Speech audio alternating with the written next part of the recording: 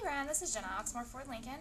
Just want to send you a quick video to introduce myself. I look forward to meeting you today as you come out and check out the used escapes we have on site. If you have any questions or concerns before you come out, just feel free to give me a call, 502-413-3075.